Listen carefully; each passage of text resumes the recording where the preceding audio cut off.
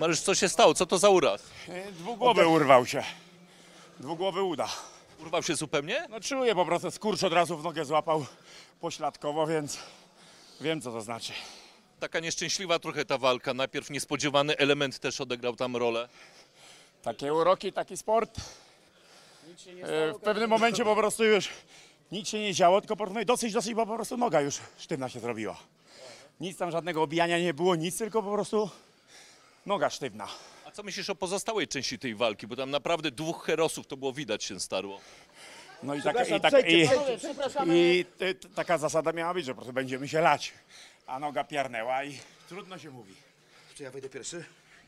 Myślisz, że będzie rewanż? Odejdźcie w tej Zobaczymy. chwili. Za, za szybko na to pytanie. Powodzenia.